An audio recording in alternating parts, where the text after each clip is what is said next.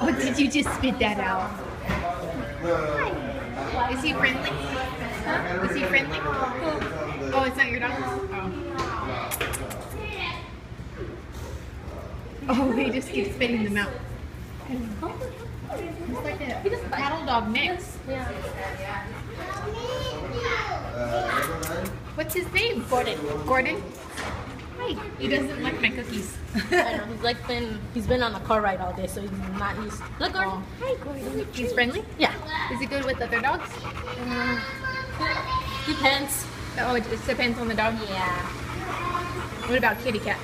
Um, He doesn't. no. He hasn't seen cats, or he just He does. does, but he no. Chases. Yeah.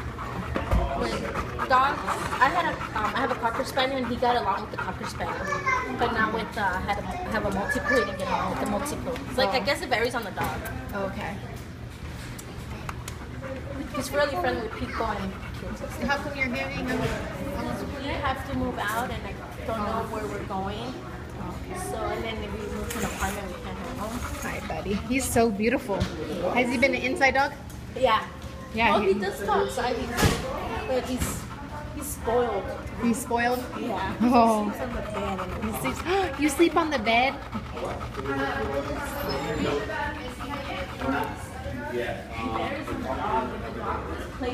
Okay. It's okay, Gordon. Because he's real playful.